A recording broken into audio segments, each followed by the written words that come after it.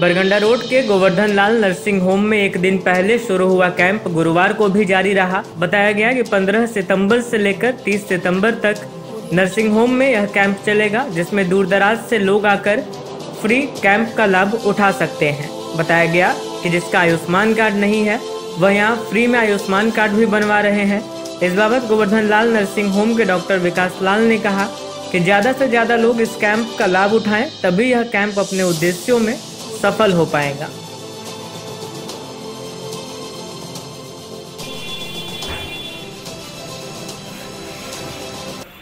राज्य सरकार के द्वारा आयुष्मान भारत मुख्यमंत्री आरोग्य योजना के तहत आयुष्मान पखवाड़ा रखा गया है 15 सितंबर से लेकर 30 सितंबर तक। गोवर्धन लाल नर्सिंग होम में इस उपलक्ष्य में 15 सितंबर से लेके 30 सितंबर तक निशुल्क ओपीडी रखा गया है।